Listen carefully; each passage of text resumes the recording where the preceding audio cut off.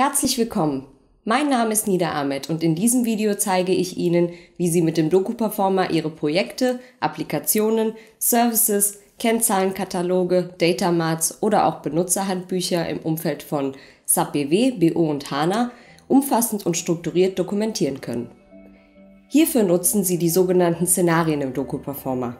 Diese bestehen aus einer frei definierbaren Struktur und können als Word, HTML, oder PDF-Dokument exportiert werden. Das Video richtet sich also an alle Benutzer des Doku-Performers, die den Umgang mit Szenarien erlernen möchten. Oder auch an alle Interessenten, die die Möglichkeiten beim Einsatz von Szenarien im Doku-Performer kennenlernen möchten. Hier können Sie auch eine Anleitung als PDF herunterladen.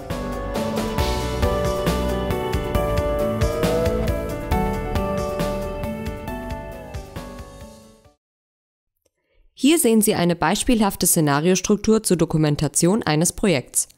Es enthält sowohl eigene Textkapitel und Überschriften als auch technische Objekte aus verschiedenen Subsystemen. So ist es möglich, Objekte aus SAP BW, HANA und BO in einem Szenario zu platzieren und auf diese Weise ein Projekt ganzheitlich abzubilden. Und so sieht das exportierte Szenario als Word-Dokument aus. Im Inhaltsverzeichnis kann man die Struktur des Szenarios wiedererkennen. Das fertige Szenario enthält nun die Inhalte, die zuvor im Doku-Performer definiert wurden. Die technische Dokumentation der enthaltenen Subobjekte ist vollständig automatisiert abgelaufen und lässt sich auch im Detailgrad an die Zielgruppe anpassen. Ich zeige Ihnen nun, wie Sie solch ein Szenario selbst erstellen können. Eine Übersicht Ihrer Szenarien sehen Sie im Bereich Szenarien. Diesen Bereich erreichen Sie über Dokumentation oder Kommentierung. Szenarien werden in einer eigenen Ordnerstruktur erstellt und organisiert. Über die entsprechende Schaltfläche können Sie neue Ordner auf der ersten Ebene erstellen. Über das Kontextmenü können Unterordner erstellt werden. Außerdem können die Ordner über das Kontextmenü umbenannt oder gelöscht werden. Bestehende Szenarien können innerhalb der Ordnerstruktur per Drag and Drop verschoben werden. Neue Szenarien können innerhalb der Ordner über die entsprechende Schaltfläche erstellt werden. Dabei muss ein sprachunabhängiger technischer Name vergeben werden und es kann eine sprachabhängige Beschreibung gepflegt werden. Über eine Dropdown-Auswahl kann auch ein Template für das neue Szenario ausgewählt werden. Dadurch können Inhalte aus dem Template in dem neuen Szenario übernommen werden. Wie Sie neue Templates erstellen, zeige ich Ihnen später im Video. Um eine Struktur aufzubauen, öffnen Sie das neue Szenario im Szenario Designer. Sie können hierfür das Szenario doppelklicken oder es über das Kontextmenü im Szenario Designer öffnen. Der Szenario Designer kann auch direkt unter Kommentierung geöffnet werden. Über die Dropdown-Auswahl in der oberen linken Ecke können Sie das Szenario wechseln.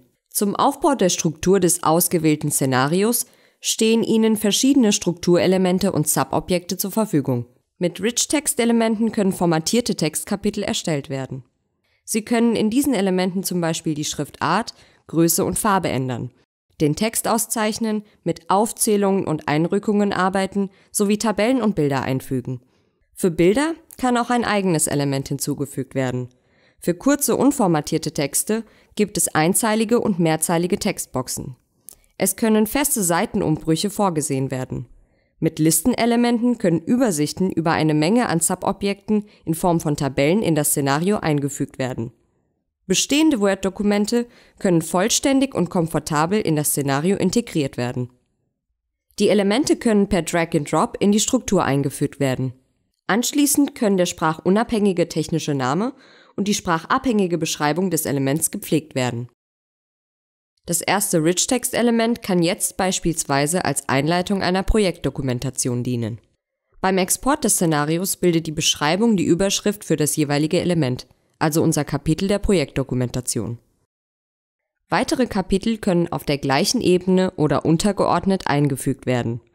Hierdurch kann eine hierarchische Struktur mit Unterkapiteln aufgebaut werden. Einzeilige Textboxen ohne eigenen Inhalt eignen sich auch gut als Zwischenüberschriften ein kleiner Tipp, damit die Kapitel immer am Anfang einer Seite beginnen, können Seitenumbrüche platziert werden.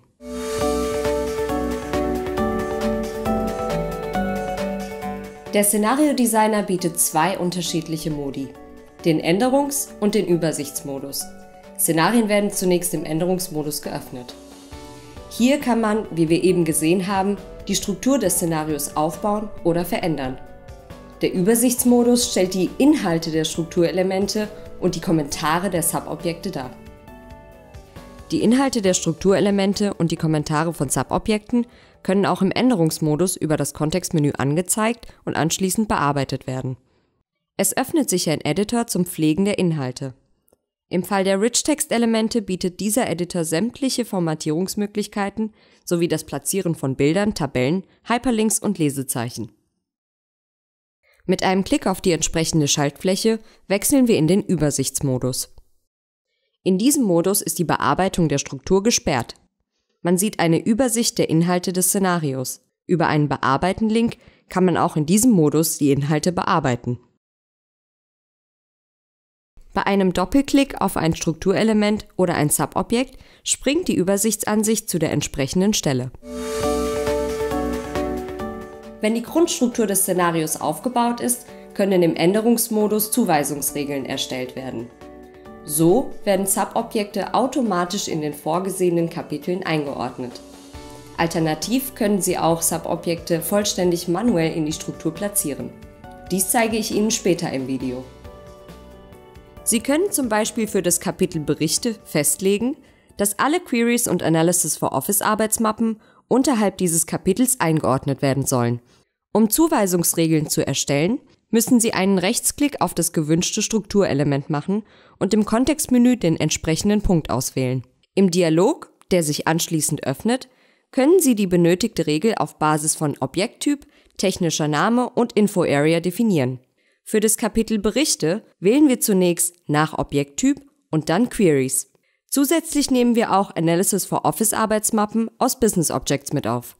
Über die Schaltfläche Anwenden wird der Dialog geschlossen und die Regel auf das Strukturelement angewendet.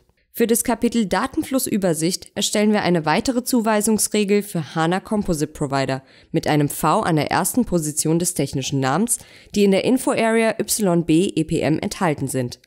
Auf diese Weise kombinieren wir die verfügbaren Möglichkeiten zum Erstellen einer Zuweisungsregel.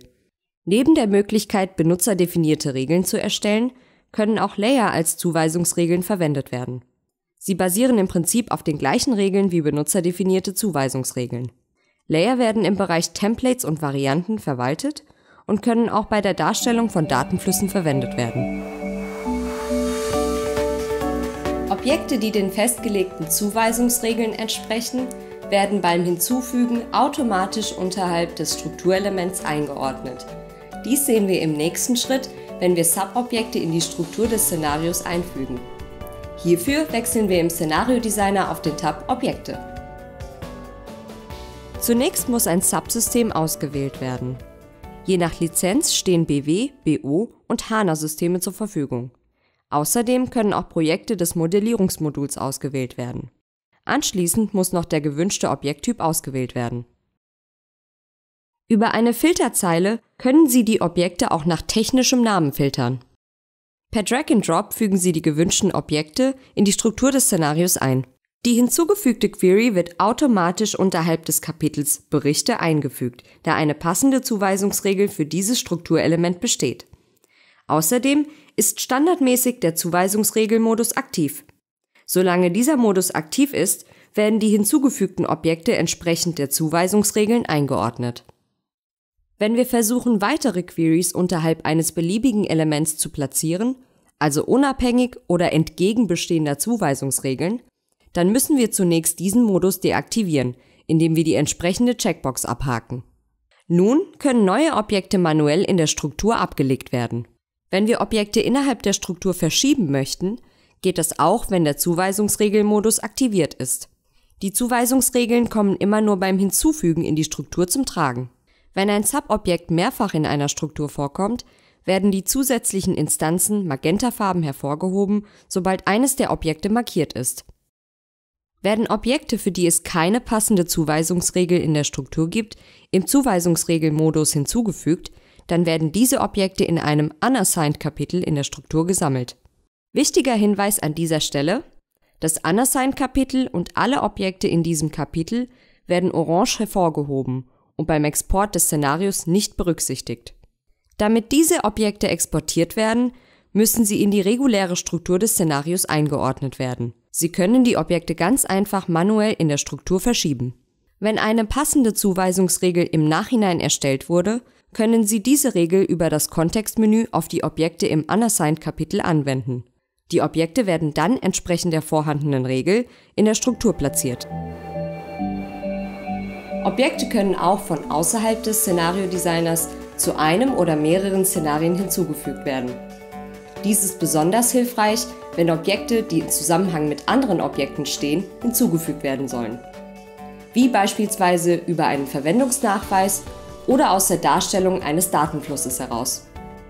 So können beispielsweise über die Relationen auch alle wiederverwendbaren Kennzahlen eines Infoproviders gesammelt und den gewünschten Szenarien zugewiesen werden. Hierzu müssen die gewünschten Objekte markiert und dann über das Kontextmenü der Punkt Szenario Zuordnung und Verwendung ausgewählt werden. Über diesen Dialog können Subobjekte aus verschiedenen Ansichten im Doku-Performer zu Szenarien zugeordnet werden. Die entsprechenden Szenarien können über die Ordnerstruktur ausgewählt werden. Mit der Schaltfläche Zuweisen werden die Objekte in die Szenariostruktur eingefügt. Auch hier, für alle Objekte, die auf diese Weise einem Szenario zugeordnet werden, gelten die Zuweisungsregeln. Das bedeutet, dass Objekte, für die es in einem Szenario keine entsprechende Regel gibt, im Unassigned-Kapitel landen. Im zweiten Tab des Dialogs kann die Verwendung der ausgewählten Objekte in Szenarien geprüft werden. Es werden pro Objekt alle Szenarien gelistet, in denen das jeweilige Objekt verwendet wird. In der Dropdown-Auswahl werden alle vorkommenden Szenarien aufgeführt und in der Liste hervorgehoben, wenn eines ausgewählt wird. Über die Schaltfläche Entfernen kann die Zuordnung der Objekte zu ausgewählten Szenarien aufgehoben werden. Dieser Dialog zur Zuordnung von Subobjekten zu Szenarien kann aus verschiedenen Ansichten heraus verwendet werden. Beispielsweise bei der Darstellung von Datenflüssen, in Verwendungsnachweisen, bei der Auflösung von Transporten oder in der Objektauswahl auf dem Tab Objekte. Wir haben jetzt also zwei Möglichkeiten kennengelernt, wie wir Subobjekte in die Struktur des Szenarios einfügen können. Wir können sie entweder direkt im Szenario-Designer auswählen und platzieren oder, wie wir eben gesehen haben, von außerhalb des Szenario-Designers zuordnen. Wenn die Objekte im Szenario platziert sind, können unter Eigenschaften je nach Objekttyp einige Einstellungen für den Export vorgenommen werden. Für alle Objekttypen kann an dieser Stelle eingestellt werden, ob der Kommentar und die technische Dokumentation exportiert werden sollen. Objekte, die einen Datenfluss besitzen, können außerdem mit einer Grafik des Datenflusses exportiert werden. Über das Zahnrad-Icon können weitere Einstellungen vorgenommen werden. Für den Export der technischen Dokumentation kann festgelegt werden, ob der gesamte Datenfluss exportiert werden soll oder nur bis zu einem bestimmten Level. Diese Einstellung resultiert in detaillierten technischen Dokumentationen für die Objekte des gesamten Datenflusses nach unten. Für den Export der Datenflussgrafik können ebenfalls Einstellungen vorgenommen werden. Es können Layer für die Darstellung aktiviert werden und Lookups im Datenfluss angezeigt werden. Zusätzlich zum Export des Kommentars und der technischen Dokumentation kann für Prozessketten eine Übersicht der Subprozessketten ausgegeben werden. Wenn eine Rolle exportiert werden soll, können auch die zugeordneten Benutzer exportiert werden. Für berechnete Kennzahlen kann zusätzlich die komplett aufgeschlüsselte Formel ausgegeben werden. Über das Kontextmenü können Eigenschaften eines Objekts komfortabel auf andere Objekte des Szenarios übertragen werden. Dies erleichtert einen einheitlichen Aufbau des Szenarios. Die eingestellten Eigenschaften werden auch über Icons an den Subobjekten dargestellt. Eine Besonderheit stellen hierbei die Kommentare dar. Diese haben zwei verschiedene Icons. Das eckige graue Icon symbolisiert, dass der Export des Kommentars vorgesehen ist. Das runde transparente Icon symbolisiert, dass ein Kommentar gepflegt ist. Nur wenn beide Icons vorhanden sind, wird auch tatsächlich ein Kommentar exportiert. Da wir nun einige Subobjekte in unser Szenario eingebunden haben, können wir uns jetzt die Listenelemente anschauen. Mit diesen Elementen können Tabellen mit Objekten in das Szenario aufgenommen werden. Diese können als Übersichtslisten fungieren und zum Beispiel zu Beginn eines Szenarios vermitteln, welche Objekte in einem Szenario involviert sind, ohne allzu sehr ins Detail zu gehen. Für BW, BO, HANA und manuelle Third-Party-Objekte gibt es jeweils eigene Listenelemente. Nach dem Hinzufügen kann die Liste über das Kontextmenü oder einen Doppelklick bearbeitet werden. In diesem Dialog muss zunächst ein System gewählt werden. Wenn in der Liste alle im Szenario verwendeten Objekte gelistet werden sollen, dann wählen Sie bei Objekttyp alle Objekttypen und klicken anschließend auf diese Schaltfläche. So fügen Sie alle im Szenario verwendeten Subobjekte in die Liste ein. Sie können den Aufbau der Liste verändern, indem Sie einen Rechtsklick auf den Spaltenkopf machen und die Spaltenauswahl aktivieren. Per Drag and Drop können Sie weitere Spalten in die Tabelle ziehen oder Spalten aus der Tabelle entfernen. Wenn die Tabelle dem gewünschten Aufbau entspricht, kann sie gespeichert und der Dialog geschlossen werden. Unser Szenario ist jetzt fertig und bereit für den Export. Über die Schaltfläche Szenario exportieren in der Toolbar kann der Export als Word, PDF oder HTML gestartet werden. Dies öffnet den Exportdialog mit verschiedenen Exportoptionen. Die Einstellungsvariante bestimmt den Detailgrad für die technische Dokumentation der Subobjekte. Damit können unterschiedliche Zielgruppen angesprochen werden. Das Word-Template bestimmt die visuelle Erscheinungsweise und ermöglicht die Umsetzung des Corporate Designs. Die Kommentarvariante ist ein weiteres Instrument, um die Zielgruppe anzusprechen. Sie bestimmt, welche Kommentarkapitel der Objektkommentare exportiert werden. Die Sprache für Kommentare bestimmt, welche Sprache der Objektkommentare exportiert werden soll. Die Version kann frei gewählt werden und über eine Textmarke im Word-Template in das exportierte Szenario eingefügt werden.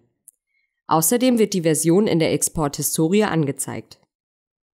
Die Exportquelle kann eingestellt werden, wenn für die Subsysteme unter Administration die Systemstufen gepflegt wurden. Wenn eine Systemstufe als Exportquelle ausgewählt wird, dann werden die Objekte mit ihrem technischen Namen für die Dokumentation in dem System gesucht, welches in der entsprechenden Systemlandschaft die ausgewählte Stufe zugewiesen hat. Die Generierung des Dokuments findet in diesem separaten Fenster statt.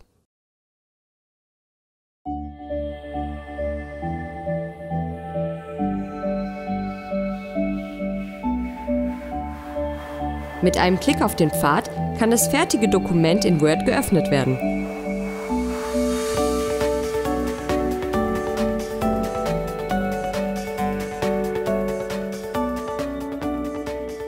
Alle Exporte eines Szenarios werden in der Exporthistorie protokolliert. Wir haben jetzt kennengelernt, wie Szenarien innerhalb der Ordnerstruktur erstellt, im Szenario Designer strukturiert, mit Subobjekten ausgestattet und schließlich exportiert werden können. Wie eingangs erwähnt, zeige ich Ihnen jetzt, wie Sie mit Templates arbeiten können. Szenario-Templates können unter Templates und Varianten erstellt und verwaltet werden. Hier können Sie eigene Templates hinzufügen. Bei der Installation des Doku-Performers wird ein Standard-Template für Projektdokumentationen erstellt. Ein neues Szenario-Template können Sie über die Schaltfläche Hinzufügen erstellen. Die Gestaltung der Templates funktioniert anschließend genau wie bei einem Szenario. Über das Kontextmenü, die Toolbar oder einen Doppelklick kann das Szenario-Template im Szenario Designer geöffnet werden. Mit den Radio-Buttons oben links kann zwischen Szenarios und Templates gewechselt werden. Jetzt ist der Button für Templates ausgewählt und in der Dropdown-Auswahl können bestehende Szenario-Templates ausgewählt werden. Alle Inhalte, die in ein Szenario-Template eingefügt werden, sind später auch in einem Szenario verfügbar, das auf Basis eines Templates erstellt wurde. Hierdurch können Szenarien schneller aufgebaut und ein einheitlicher Aufbau sichergestellt werden. Beim Erstellen eines neuen Szenarios muss in der Dropdown-Auswahl das gewünschte Template ausgewählt werden.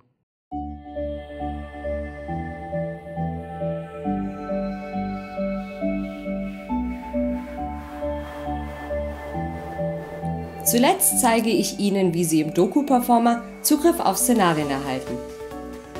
Der Zugriff ist einerseits abhängig von der verwendeten Lizenz und andererseits von den Berechtigungen des verwendeten Benutzers. Szenarien sind Teil des Kommentierungsmoduls. Das heißt nur, wenn die Kommentierung für die gewünschten Systeme lizenziert ist, können Szenarien genutzt werden. Im Überfenster können Sie prüfen, ob das Kommentierungsmodul für ein bestimmtes System lizenziert ist. Neben der Lizenz sind die Einstellungen in der Benutzerverwaltung wichtig. Für jeden Benutzer kann festgelegt werden, auf welche Szenarioordner zugegriffen werden kann. Öffnen Sie den Dialog für die Bearbeitung des Benutzers.